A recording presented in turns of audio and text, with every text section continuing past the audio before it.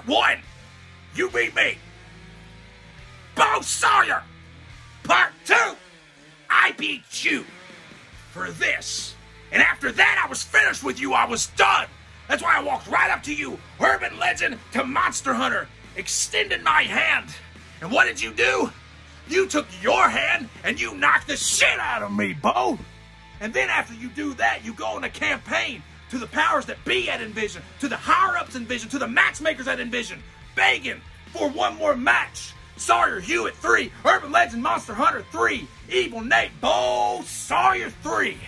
Gotta get your win back, so they give it to you. A final destination match. Bo, final destination.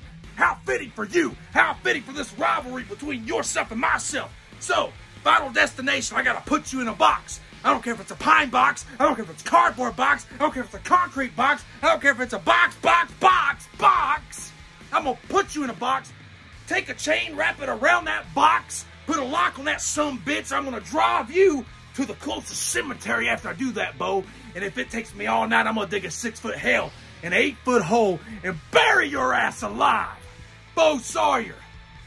It ain't about this anymore. It's about ending this thing that you created between yourself and myself. So get ready. Take a big swig of that stuff you were talking about in your little video, Bo. Because on August 20th, Hot August 5, you're going to find out the same thing you already found out the last two times. Why I am the face swapping, bone popping, heart stopping, chainsaw elbow dropping the uh, blood spiller, the uh, face stiller, the twister Nate Diller, a walking, talking, John Carpenter, Wes Craven, Tobe Hooper, Clive Barker thriller, the Kentucky killer, Bo Sawyer. Take what I'm saying as the gospel.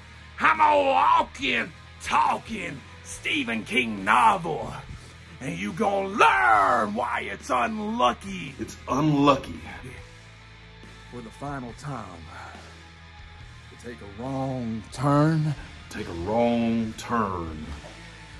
and and and In Kentucky. All right. Kentucky.